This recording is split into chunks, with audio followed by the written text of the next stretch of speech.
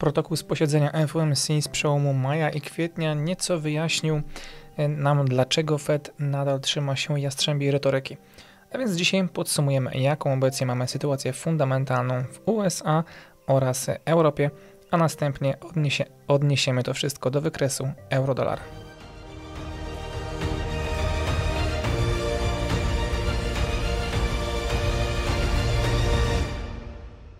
Inwestorzy zaczynają no, nieco być ostrożni, ponieważ protokoły z ostatniego posiedzenia FOMC sugerują, że Fed może wznowić zacieśnienie polityki, ale oczywiście jeśli inflacja nadal będzie przyspieszać.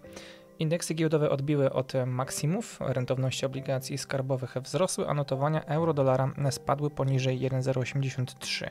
Należy jednak też zaznaczyć, że na konferencji prasowej po posiedzeniu, które odbyło się 30 kwietnia i 1 maja, Jerome Powell zauważył, że podwyżka właśnie no, stóp funduszy federalnych no jest niezwykle mało prawdopodobna. Christopher Waller, kolejny z oficjeli FOMC, również potwierdził ten punkt widzenia, e, mówiąc niedawno, że kolejnym krokiem banku centralnego będzie właśnie no, raczej luzowanie polityki pieniężnej niż jej zaostrzanie, no, czyli raczej obniżanie stóp procentowych niż ich podwyższanie. Rezerwa federalna no, musi właściwie rozważyć wszystkie ryzyka. Jeśli teraz obniżą stopy procentowe, istnieje ryzyko przyspieszenia inflacji. Jeśli będą z tym zwlekać za długo, no znów gospodarka amerykańska może popaść w recesję. Waller twierdzi, że mają jeszcze 3-4 miesiące, e, podczas których amerykańska gospodarka nie powinna mieć większych problemów.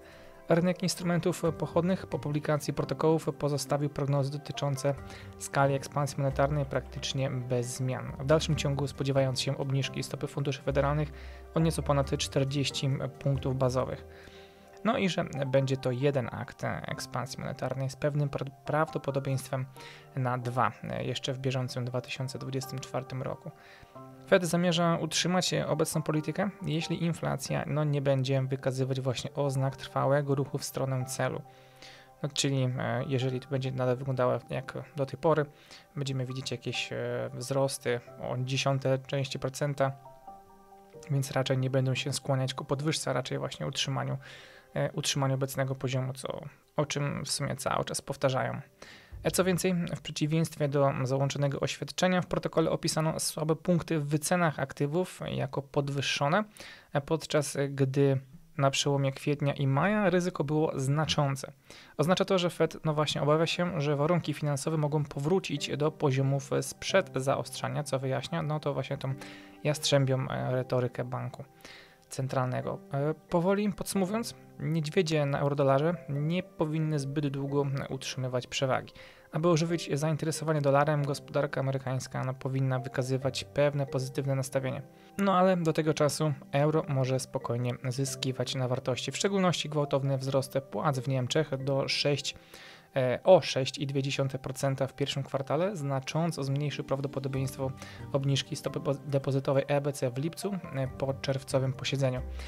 Jeśli w ślad za niemieckim wskaźnikiem dynamika płac wzrośnie no w całej strefie euro, na majowe wskaźniki menedżerów zakupów, czyli PMI tak zwane, wskażą na dalsze przyspieszenie gospodarki bloku walutowego, euro-dolar, no można powiedzieć, że szybko e, wyliże rany po protokołach FOMC.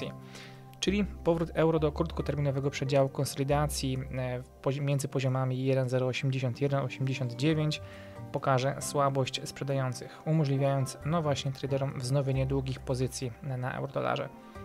A więc w scenariuszu konserwatywnym kupno po obecnej cenie wydaje się dosyć rozsądnym ruchem. Ale oczywiście należy pamiętać, że to nie jest żadna porada ani rekomendacja w rozumieniu przepisów prawa, a jedynie subiektywna opinia autora. Każdy oczywiście powinien dokonać własnej analizy i tylko na jej podstawie następnie dokonywać decyzji inwestycyjnych. I to tyle w dzisiejszym materiale. Dzięki wielkie za uwagę i słyszymy się w kolejnym